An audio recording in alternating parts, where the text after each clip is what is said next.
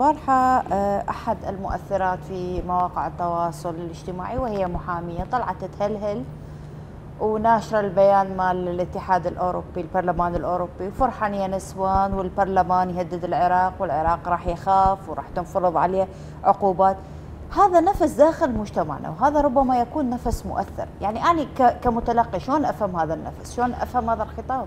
هو طبعا مثل هذه الحركات لابد أن تجفف منابع هذه الحركات، بصراحة البيان الأوروبي كشف حقيقة من ينتمون إليه بدلالة أنه قال سوف نسعى جاهدين لدعم المعترضين في داخل العراق، يعني اذا هذه المنظمات قالت هل المفروض عفوا أقولها بالعراقي حسبوها على امامته عليه هاي ينقص لسانها لازم.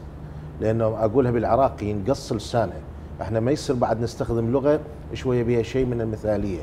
لماذا؟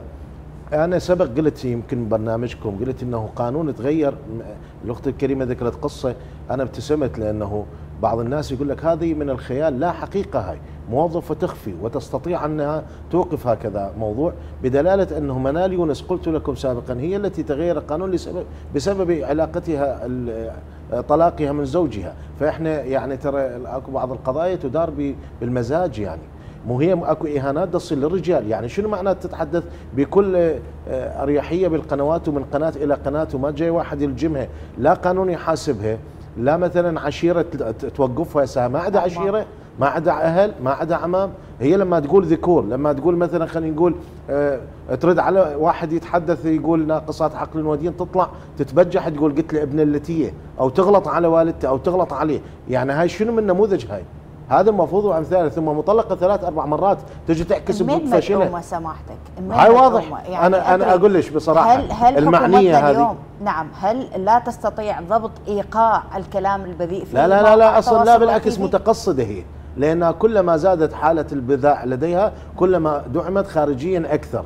أقول لك بصراحة كلما صار هنالك استهتار كلما أصبحت ترند بالنسبة للجهة التي تدعمها وهذه هي المعنية التي يمكن أن تقدم كنموذج للدفاع عن هذا الفساد. والا أن يؤتى بإنسان منظم وعاقل ويمكن أن يتقهقر هذا غير نافع. لا بد أن يؤتى بالشخصيات الهزيلة وذات الطابع الاجتماع الفاشل بالعلاقة الأسرية إذا كان أو بتاريخها. أنا ما جاي والله ما شخصن القضية ولكن لما تشوفين الشخوص من هم؟ يعني شخوص ما عندهم أي عملية انتماء حقيقي للعراق ولا للمجتمع.